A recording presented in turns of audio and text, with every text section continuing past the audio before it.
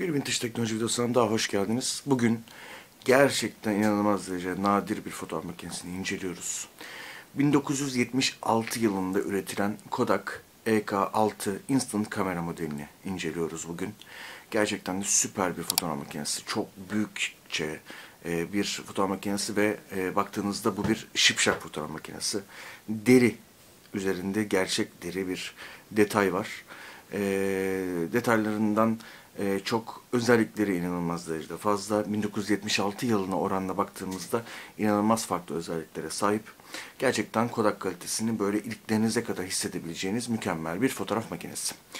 Bunu peki nasıl anlatalım size? 1976 yılında daha şipşak fotoğraf makineleri yeni yeni oturmuşken e, Kodak tarafından çıkartılan EK6 modeli instant kamera olarak geçiyor. Tamamen fotoğraf makinesiyle fotoğrafı çektikten sonra size anında fotoğrafı verebilen bir fotoğraf makinesi.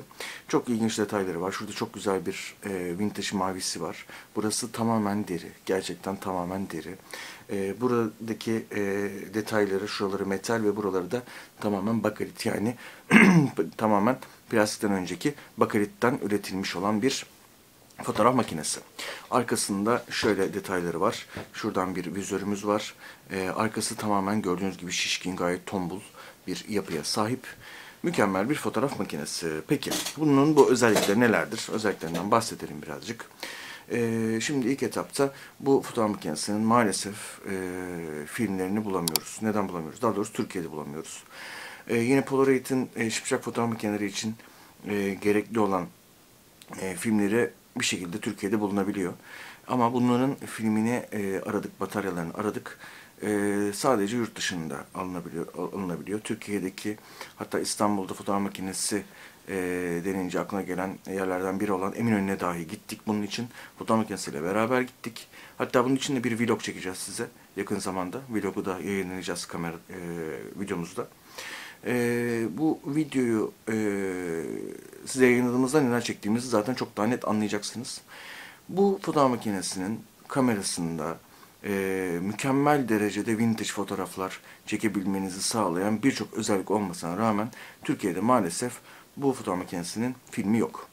Yurt dışında araştırdık eBay'den, e, çeşitli e, ikinci el yabancı e, Çin sitelerinden, AliExpress tarzında sitelerden. Oralarda bulunabiliyor. E, tabii onlar da böyle tekli olarak satmıyorlar, altılı olarak satıyorlar, işte üçlü olarak satıyorlar. Fiyatlar tabii hani vintage e, fotoğraf sevenler için e, çok makul denmese de yine de alınabilip sonrasında da böyle hatıra olarak e, yani böyle çektiğinizde o fotoğrafları gerçekten saklamanız gerekiyor. Çünkü çok e, güzel fotoğraflar çekiliyor ama dediğim gibi işte e, fotoğraf makinesinin filmleri biraz pahalı. Neyse e, fotoğraf makinesinin filmlerinden biz bir tane şimdilik sipariş ettik e, yurt dışından. E, geldiğinde zaten e, Instagram sayfamızda bununla alakalı hem bir video hem de bir e, o fotoğraflardan e, bir tanesini de Instagram sayfamızda Vintage Teknoloji Instagram sayfamızda da yayınlayacağız. Şimdi geçelim Kodak EK6'ya. Kodak EK6 e, birden fazla özelliği olan çok ilginç yani dönemine göre dediğim gibi çok ilginç e, özellikleri var. Bunlardan bir tanesi bakın şurada e, şuradan başlayalım soldan başlayalım. Şurada print control e, özelliği var. Bundan bahsedeceğiz. Burada manzara bölümü var. Genel olarak e, gayet tombul bir yapıya sahip. E, şurada arkasında lastikli bir vizörü var. E, üstünde e, buraya bir flash takmanızı sağlayan bir e, girinti diyelim. Burada flash'ın durumunu gösteren bir ledi var. Bununla beraber burada zaten e, lensimiz, burada da vizörümüz mevcut. E, buradan istediğimiz şekilde e, ayarlayabiliyoruz. Tabii şu anda zaman içinde sıkıştığı için e, birazcık daha zor dönüyor. 1976 yılından yani e, yıllar evvelsinden gerçekten de güzel bir fotoğraf makinesi. Kendinde çok güzel bir şekilde e, saklamış. Biz bunu bu arada Tontik Shop'tan tedarik ettik. Gerçekten de çok güzel e, saklanmış. Onlar tarafından çok güzel saklanmış. Şuradaki deride yani iz bile yok yani yepyeni bir deriymiş gibi. E, filmimizi nasıl takıyoruz peki? Şimdi şurada arkasında bir e, butonumuz var. Buton tık, bastığımızda bakın arkasında şu şekilde filmi buraya yerleştiriyoruz. Filmin yerleştirilme yeri burası. Filmi buraya direkt olarak takıyoruz. Bakın şurada iki tane batarya var. Şu iki tane batarya aslında normal şartlarda biz aldığımızda filmle beraber geliyor. Yani e, bizim aldığımız yerden filmle beraber geliyor. Siz de araştırın.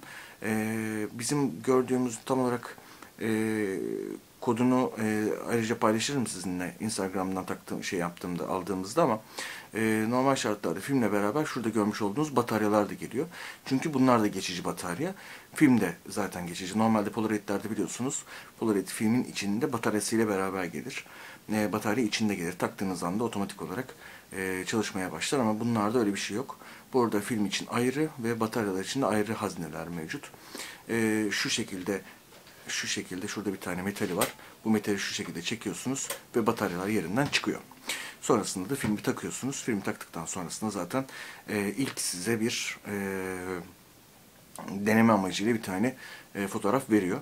Bunu da dediğim gibi Instagram sayfamızda yakın bir zamanda paylaşacağız. Bizi elimize ulaştığında. Ayrıca e, YouTube'da YouTube'a da bununla alakalı yine Kodak EK6 ile alakalı farklı bir e, film takma e, videosu da ekleyeceğiz. Pekala Kodak EK6'da ne gibi farklı özellikler var? Hep aynı farklı özelliklerden bahsettik. Şimdi ilk etapta bakın şurada print control denilen bir sistem var. Bu print control e, sizin e, yani çektiğiniz fotoğrafın daha konstratı yüksek olarak mı yoksa daha e, hani böyle parlaklığı daha mı koyu olsun daha mı açık olsun diye siz buradan ayarlamasını yapabiliyorsunuz. Onu da öyle güzel yapmışlar ki bakın burada darken yazıyor, burada lighten yazıyor. Yani e, karanlık ve aydınlık olarak yani daha fazla e, koyu, daha fazla açık. Bu şu anda darken bölümünde. Bakın darken bölümünde olduğunda şurayı siyah yapmışlar. Ondan sonra bu gittikçe açıldıkça bakın burası beyaza dönüyor. Gördünüz mü? Onu bile çok güzel yapmışlar. Şu anda Lighten'da mesela bakın burası bembeyaz. Gerçekten çok güzel düşünülmüş bir e, yapısı var. Zaten hani e, bakın orijinal olduğu daha doğrusu ilk zamanlardaki Kodak'lardan olduğu için şurada Made in USA yazısını da görebiliyorsunuzdur. Bununla beraber şurada manzara, e, topluluk e, resmi ve kişisel portre resmi olarak da e, buradan e, gerekli ayarlamaları yapabiliyorsunuz. Pekala e, şundan bahsedelim. Normal şartlarda bu fotoğraf makinesi bayağı bir ağır. Yani size nasıl anlatayım? E, yaklaşık bir, bir kilodan fazladır. Ve bir kiloluk e, dönem şey içinde e, ağırlık içinde piller ve e, filmle birleşince gerçekten de böyle boyna ciddi şekilde bir yük biniyor. Bunun için ne yapmış Kodak? Kodak şu şekilde tutmanız için, şu şekilde tutmanız için bunun tamamen ergonomisini de buna göre yapmış. Ve e, denktanşörümüz de bakın burada. Denktanşörden şu şekilde fotoğrafımızı çekiyoruz. Şuradaki renkler şu, şekilde fotoğrafımızı çekiyoruz. Ondan sonra buradan alttan pırtlatıyor hemen veriyor. Ee, gerçekten güzel düşünülmüş bir fotoğraf makinesi. Ee, hatta ve hatta e, yani bu fotoğraf makinesini e, biz artık benim dediğim gibi bunu Tontik Shop'tan biz e, tedarik etmiştik. Bu bizim koleksiyonumuzda mutlaka kalacak bir fotoğraf makinesi. Bilmiyorum ellerinde başka var mı ama e, varsa da direkt almanızı ve e, bunu e, kendi koleksiyonunuza katmanızı tavsiye ederiz. Çünkü e, gerçekten de fotoğraf makinesi tarihini e, fazlasıyla yansıtan çok iyi bir fotoğraf makinesi. Hani körüklü fotoğraf makinelerinden sonra daha çok gençlere hitap eden bir fotoğraf makinesi diyebiliriz. Bununla birlikte e, şurada görmüş olduğunuz kaç metre kaldığını ve kaç feet daha doğrusu buradan da gerekli ayarlamaları yapabiliyorsunuz. E, vizöre baktığınızda vizörün yeri burada. Şurada vizörü. E, burada bir lensimiz var. E, burada da sensörlerimiz var. Gerçekten de güzel bir fotoğraf makinesi yapmışlar. Bununla beraber e, güzel bir mavi de şurada görmüş olduğunuz şeride sahip. Ee, dediğim gibi bunu mutlaka Instagram'dan bizi takip ederek e, bu filmi nasıl taktığımızı bu Instagram pardon instant kamera olarak geçten geçen yani anında kamera anında size e, filmi fotoğrafı veren fotoğraf makinesinin film takma videosunu ayrıca çekeceğim. Instagram'dan da ayrıca e, bunu paylaşacağız sizinle.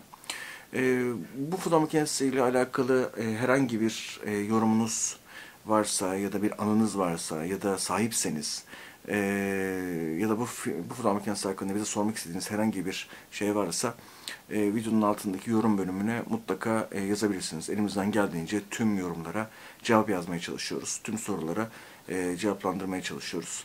Yalnız tabii bir şey rica ediyoruz. Oradaki soruları e, sorarken e, o soruların cevaplarının %90'ı zaten videonun içinde mevcut.